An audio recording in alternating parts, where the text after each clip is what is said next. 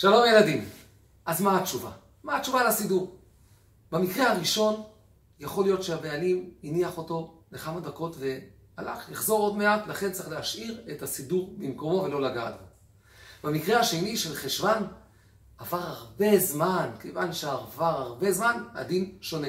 לכן, אם מדובר על סידור שאין בו סימן, במקרה כזה, הבעלים כנראה התייאש, עברו כל כך הרבה חודשים ואין סימן, התייאש, לכן הרי אלו שלא, אפשר לקחת את הסידור לעצמכם. אבל אם יש סימן, במקרה כזה הבעלים לא מתייאש, צריך לקחת את החפץ, לקחת את הסידור ולהכריז עליו. להתראות.